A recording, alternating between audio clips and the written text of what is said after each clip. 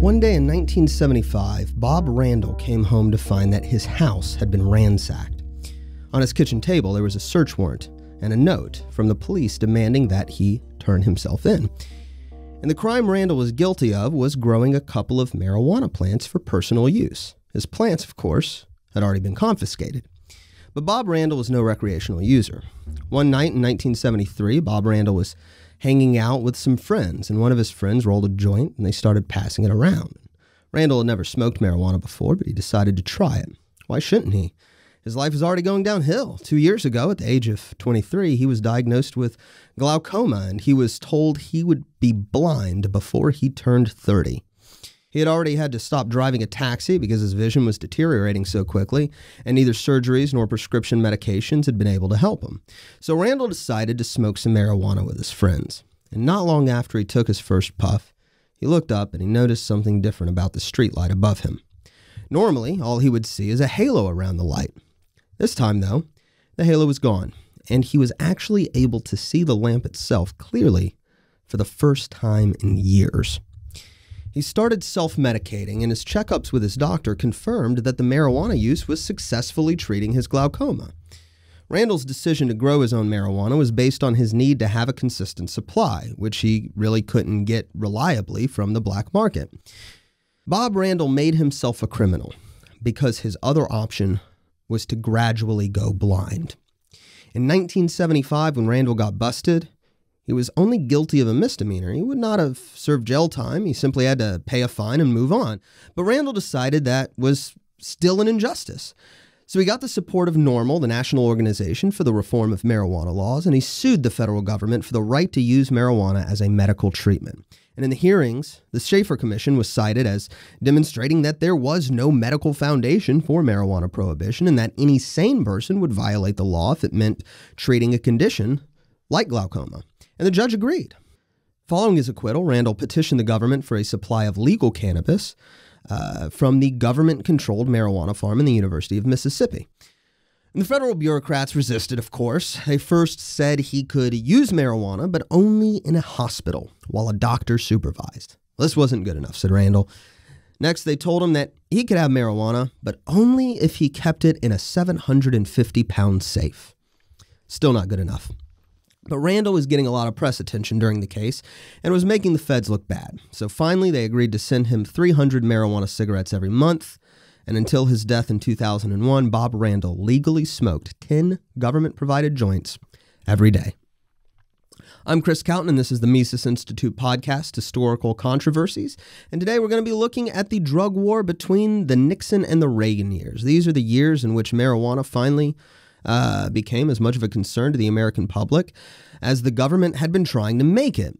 But it only did this after activists like Bob Randall nearly got marijuana rescheduled. And the events that took place that led to this rise and fall of the pro pot movement are important to understanding the Reagan war on drugs that came after it. One important player in this study is Keith Stroup and the organization he founded, which I've already mentioned. In 1970, Stroup founded NORML, which originally stood for the National Organization for the Repeal of Marijuana Laws. And it was only after a friend urged him to soften the tone that he changed the R to stand for the more modest reform. And with the founding of NORML, Keith Stroup established himself as Mr. Marijuana. For most of the 70s, NORML was the go to organization for pro cannabis information, but the federal government did its best to ignore them. When the Shafer Commission was formed, Stroup was furious. It was clearly being formed with an anti marijuana bias, stacking the study with conservative drug hawks picked by Nixon himself, including Raymond Shafer, who, if you remember, was the uh, governor of Pennsylvania, and he was a well known drug hawk. And Stroup wrote the commission pleading to be allowed to testify, and he was refused. Of course, this ultimately wouldn't matter as the Shafer Commission came to the conclusions that supported NORML's agenda, and of course, the federal government ignored its own commission once this happened. But during the Nixon years, the government mostly ignored NORML. This was just part of the anti war hippie crowd. They weren't worth the government's time. Then Jimmy Carter came into office and he made Peter Bourne his drug czar. Kind of like Jerome Jaffe, the first drug czar, uh, Bourne was a fan of the methadone treatments, and he wasn't really sure uh, why there was so much hostility toward marijuana. In the first meeting Bourne and President Carter had, they even discussed marijuana decriminalization. So Carter was nervous about complete decriminalization. It might look too much like the government was condoning marijuana use, but Bourne introduced what would later be classified as the harm reduction approach to the drug policy. He took this from the Netherlands strategy when they decriminalized marijuana. And he said that even if marijuana is harmful, it's clearly not as harmful as prison, so the prohibition is senseless. And even Bob DuPont, Nixon's second drug czar who replaced Jerome Jaffe, even he agreed with Bourne at this point. If you remember, Jerome Jaffe also thought that marijuana was uh, something that didn't need to be criminalized. So all three of the first drug czars uh, didn't understand why marijuana was criminalized. I think that's an interesting point.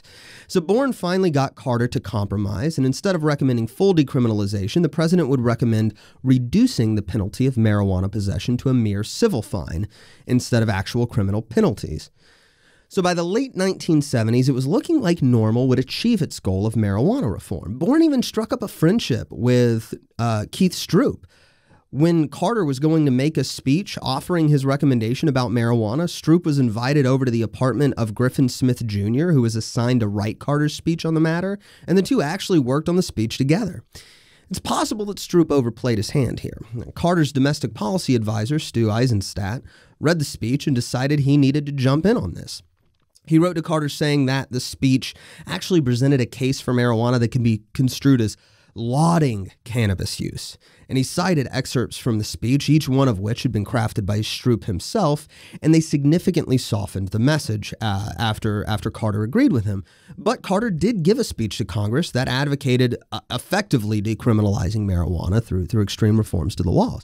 And I'll read an excerpt from the speech. Carter said, quote, Penalties against possession of a drug should not be more damaging to an individual than the use of the drug itself, and where they are, they should be changed. Nowhere is this more clear than in the laws against possession of marijuana in private for personal use. Therefore, I support legislation amending federal law to eliminate all federal criminal penalties for this possession of up to one ounce of marijuana. So things were looking good for the reform movement. So, why did everything go wrong? Well, several years before this, in 1973, Time magazine ran an article entitled Tyrannical King of Coke. And this article depicted cocaine as a high class drug taken exclusively by wealthy socialites. Although it had been around for a while, if you remember from the cocaine episode, it's been around since the 1880s uh, when, when it was first starting to become popular. Uh, cocaine had died off, and now it was finally making a comeback. And mostly among the wealthy, Time said, Coke was in fashion.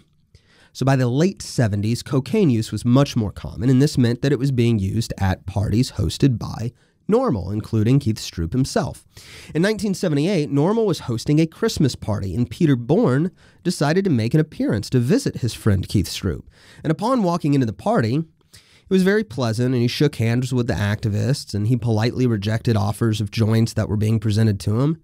And then somebody offered him a vial of cocaine. And at the time, Bourne ignored it. As far as I know, he didn't use the cocaine, but this episode would come back to haunt him.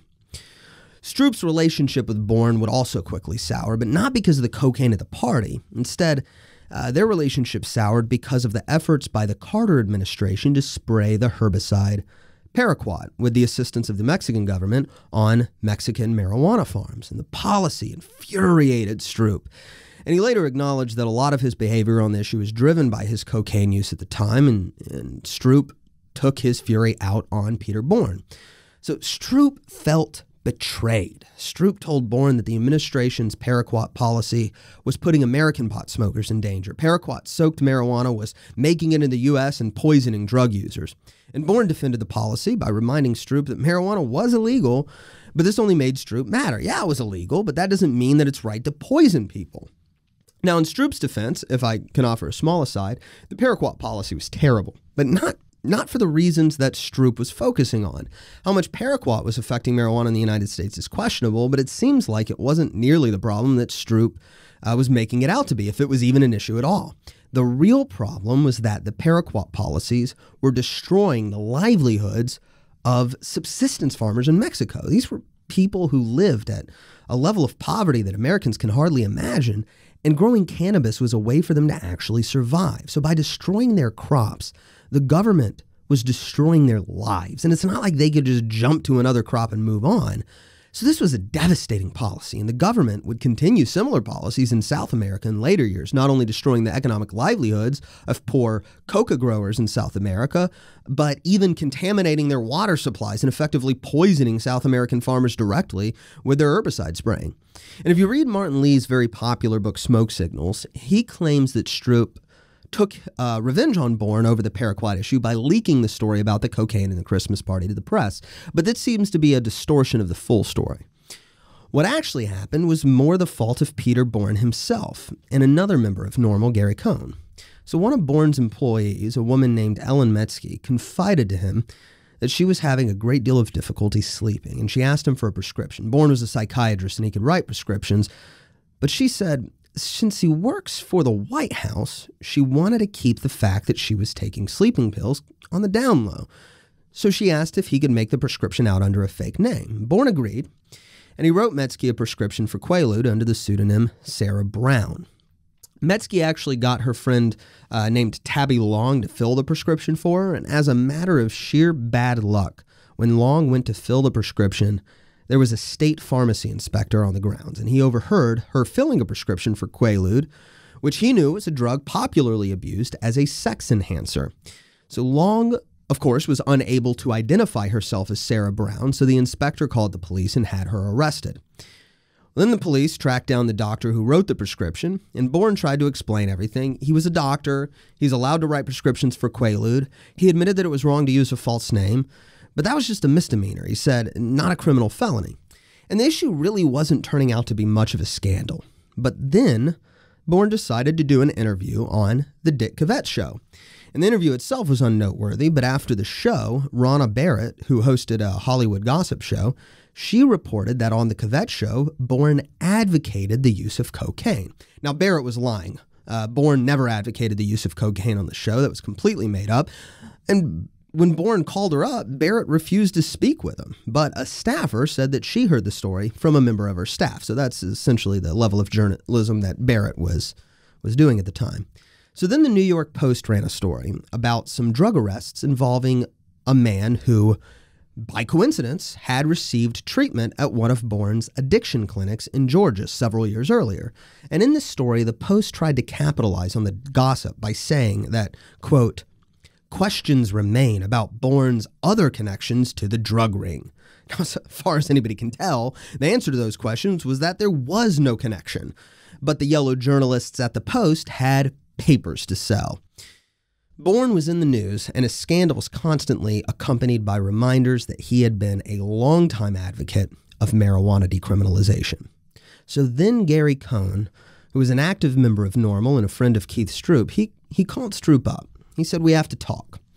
We have to talk about the Christmas party. And Cohen had been sitting on the story of Bourne and the cocaine for eight months. Now, he just heard this as rumors. Uh, so he didn't actually see Bourne uh, get offered the cocaine, but he knew about it. So now, with the prescription drug scandal, Cohen said he had to release the story before somebody else did. So again, he hadn't been in the room at the time, and Stroup knew that Cohen hadn't been in the room when Bourne was presented with the cocaine. But Cohen wanted confirmation from Stroup that Bourne had snorted cocaine before he released the story. And even though Stroup and Bourne were not on good terms at this point, Stroup refused to confirm anything. So Cohen kept pushing. Everybody was doing coke in the room, he said. Did Bourne snort any? Stroup still refused to answer. Finally, Cohen said that he was going to release the story whether Stroup confirmed it or not. He just wanted to know if he was going to get sued for printing it. Off the record, Stroup said that no, Cohen would not get sued for running the story saying that Stroup snorted cocaine at the NORML Christmas party. And later, Stroup would say that this was the biggest mistake of his life. So the story ran, and the very next morning at 7 a.m., Good Morning America told the world that the drug czar Peter Bourne had snorted cocaine at a party of pro pot activists. Bourne denied it. He admitted that he had been in the room, but he said that he did not partake. And as far as we can tell, this, this is probably true. But it didn't matter. Senator Orrin Hatch claimed that Bourne, quote, has done more harm than any public official in the history of the government, which is among the most laughable exaggerations I have ever heard. So he wrote a resignation letter, Bourne did, and in the end of his resignation letter, his last sentence, he wrote that, quote, I fear for the future of the nation far more than I do for the future of your friend, Peter G. Bourne. Shortly before the Bourne scandal, there was also an Atlanta woman who was starting a grassroots movement against marijuana. Her name was Marsha Keith Schuchard, and she always went by her middle name, Keith, which makes it really confusing when you read about her. Uh, and she caught her daughter and some friends smoking marijuana at her daughter's 12th birthday party in the mid 70s. This was at the height of marijuana consumption in the United States. Prior to this, Schuchard thought little of marijuana and had even used it herself in college, but finding that her 12 year old daughter was smoking marijuana absolutely horrified her. So she called the parents of every child there and let them know what she found. She was surprised to see how little most parents cared. It's just marijuana, they said. Some were angry that she was snooping behind their kids in the first place, and others accused her of being a hypocrite since uh, she drank alcohol. So, despite all of Nixon and Anslinger's efforts, most people still weren't that concerned with marijuana in the 1970s. So, Schuchard organized a meeting of about 30 parents, and even at the meeting, many of the parents were against her. But she plowed forward anyway. Weren't these kids going downhill? They were rebellious, they were withdrawn. Basically, they were acting like adolescents, but such logic escaped Schuchard. And other parents started conceding that their kids were also acting surprisingly like teenagers. And so now they started blaming each other, accusing other people's kids of being responsible for leading their own children astray. So Schuchard then went on to go talk to the school guidance counselor. And she was appalled to find that the counselor told her not to worry. Marijuana isn't addictive, he said. And it was normal for kids to experiment. When she talked to a therapist, he told her she should be glad her kid was using marijuana rather than alcohol. And she looked at the school's book on drug abuse and she was horrified to see that the book's called marijuana less harmful than tobacco. And one even advised children to use a water pipe to cool the smoke and to avoid burning their clothes, if you can believe that. Now, of course, marijuana is less harmful than tobacco, but I remember when I was going through elementary school, we were taught that seven joints equaled the harm of one cigarette. And I believed it for years. I mean, it seems plausible when you're in fifth grade and you don't think critically about things like that. But back in the 70s, uh, they the government acknowledged that marijuana wasn't as harmful as tobacco. At least some people in government did. So then Schuchard decided that she better go watch this Cheech and Chong movie that she kept seeing everywhere. She came out of the movie determined that marijuana was a major problem. Cheech and Chong was the most popular comedy in the world at the time, and all it did, she thought, was glorify stupid stoner behavior. So she decided to start an organization which she called the Nosy Parents Association. After a couple of years of her anti marijuana crusade, Schuchard met Buddy Gleaton. Buddy Gleaton taught anti drug courses, and he had never used any drugs himself, uh, but he was appalled when he was looking for information on them to find that when he asked the National Institute on Drug Abuse for information on marijuana, they actually referred him to NORML. So in 1978, he and Schuchard got together, and Schuchard was telling him everything she knew about marijuana. THC reduces testosterone, she said. It damages your immune system. It causes amotivational syndrome. It causes the growth of breast tissue in teenage boys. None of this was true, but Schuchard probably genuinely believed it. So she and Gleaton started a new organization called Parents Resource Institute for Drug Education, or PRIDE. Carter's new drug czar, Lee Dogoloff, agreed to meet with Schuchard and Gleaton, and the pair came into his office, and Schuchard immediately started telling him all the horrible effects of marijuana. Her lecture was really uninteresting to Dogoloff, so Gleaton took a different approach. He pointed to a picture on Dogoloff's desk and he asked, Are these your kids? Think about your daughter, Gleaton tells him. And he takes the duffel bag that he and Schuchard brought with him and he upturns the contents on his desk, and out comes copies of the magazine High Times and uh, marijuana paraphernalia like pipes and bongs. Marijuana is a billion dollar industry, Gleaton tells him. Then he goes on to talk about all the products people are advertising to kids. One of, one of them that he gave as an example was 17 Magazine advertising eye drops to get red out of a girl's eye. And of course, the red comes from marijuana use. This is the drug culture that Dogoloff's daughter was immersed in. So Schuchard jumps in and says to him that the problem is that people are still making distinctions between hard drugs and soft drugs.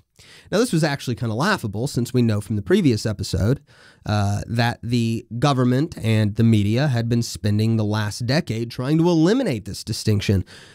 But this was a new administration, and Dogoloff wasn't part of that narrative. So finally, Gleaton says to Dogoloff, We're not afraid of our kids. We love them too much. And Dogoloff jumps out of his chair and he says, That's it. That's drug prevention.